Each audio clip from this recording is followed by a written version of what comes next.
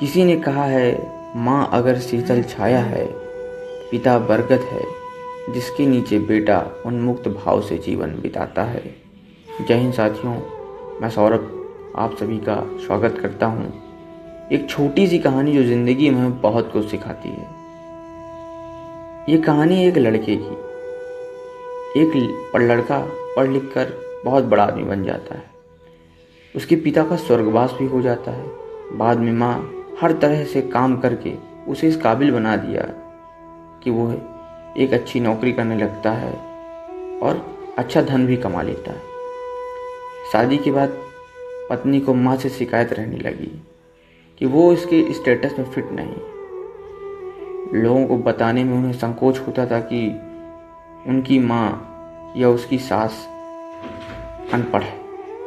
बात बढ़ने पर बेटे ने एक दिन कहा माँ, मैं चाहता हूँ, अब मैं इस काबिल हो गया हूँ कि कोई भी कर्ज अदा कर सकता हूँ। माँ और तुम दोनों सुखी रहें, इसलिए आज तुम मुझ पर किए गए अब तक सारे कर्ज, सूद और ब्याज के साथ मिलाकर बता दो, मैं वो अदा कर दूँगा। फिर हम अलग अलग सुखी रहेंगे। माँ ने सोच कर उत्तर दिया, बेटा, ज़रा हिसाब लंबा है। सोच कर बताना पड़ेगा, थोड़ा वक्त चाहिए। बेटे ने कहा, माँ, कोई जल्दी नहीं है, दो तो चार दिन में बता देना। रात हुई, सब सो गए। माँ ने एक लोटे में पानी लिया और बेटे के कमरे में आई। बेटा जहाँ सो रहा था, उसके एक और पानी डाल दिया। बेटे ने करवट ली। माँ ने दूसरी ओर भी पानी डाल दिया। जिस ओर भी करवट ली, माँ ने उस ओर पानी डालती रही। तब परेशान होकर बेटा उठकर चीख कर बोला, माँ, ये क्या है? मेरे पूरे बिस्तर को पानी पानी क्यों कर डाला? माँ बोली, बेटा, तूने मुझसे पूरी ज़िंदगी का हिसाब बनाने को कहा था। मैं अभी ये हिसाब लगा रही थी कि मैंने कितनी रातें तेरी बचपन में तेरे बिस्तर गीला कर देने से जागते हुए काटी हैं। ये तो तेरी पहली लात है। तू अभी से घबरा गया।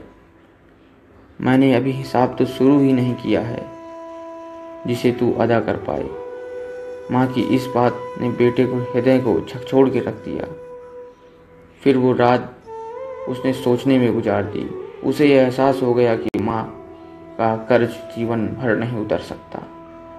माँ अगर शीतल छाया है तो पिता बरगत है, जिसके नीचे बेटा या बेटी उन्मुक्त भाव से जीवन बिताता है। माँ अगर अपनी संतान के लिए हर दुख उठाने को तैयार रहती है तो पिता सारे जीवन उन्हें पीता रहता है।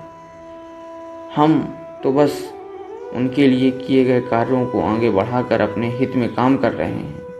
आखिर हमें भी तो अपने बच्चों से वही चाहिए ना। क्या है इसमें गलत?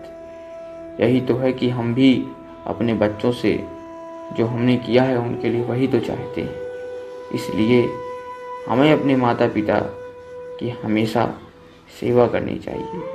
किसी ने कहा है, नींद अपनी भुला के सुलाया हमको, आँसू अपने गिरा के हंसाया हमको, दर्द कभी ना देना उन हस्तियों को, ऊपर वालों ने माँ बाप बनाया जिनको।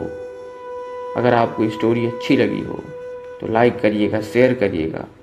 अगर चैनल में नए हैं तो चैनल को सब्सक्राइब करना ना भूलिएगा। मिलते हैं अगली मोटिवेशनल स्टोरी में। तब तक अपना ख्याल रखें। जय हिंद, जय भारत।